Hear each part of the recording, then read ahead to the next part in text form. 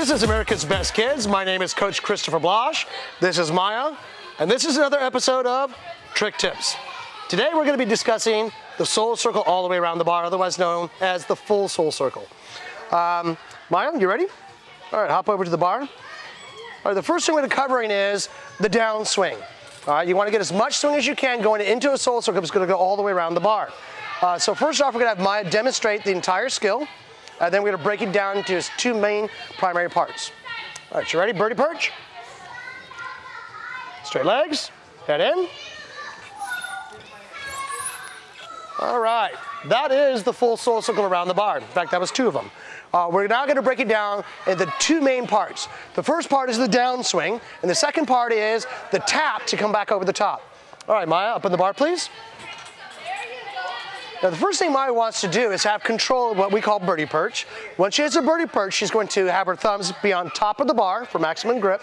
She's going to straighten out her legs, round out her back, and put her head what's called a neutral position, meaning between her arms.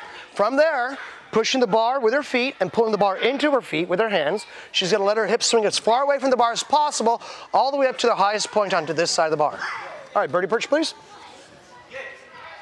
Hips up. Good. And again, please. And as an instructor, when spotting this skill, I start the birdie perch opposite side of the bar that she is. And once she goes for the swing, I reach under the rail, grab her forearm, and hold onto her arm just in case her hand should slip off the bar. Now that's the first part. And as you saw, she ran out of steam right about here.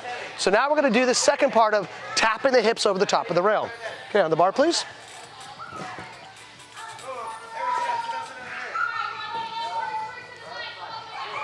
So what I do is I hold her shoulders right here so she doesn't fall. Head neutral, please. And we take her to that place where she stopped in the initial swing. And squat. She squats her hips over to the other side of the rail and shifts her hands on top of the bar to get over the top. And again, hips up. And squat. And shift the hands. Very good. Hop down. So again, she wants to squat her hips from here to this side of the rail and down and shift the hands on top of that rail right away so she's ready to go for another one or to a dismount. So putting both drills together, please, the downswing and the squat gives you the entire sole circle. Let's go uh, three in a row. Ready? Head in, nice and neutral. There's one, two, three.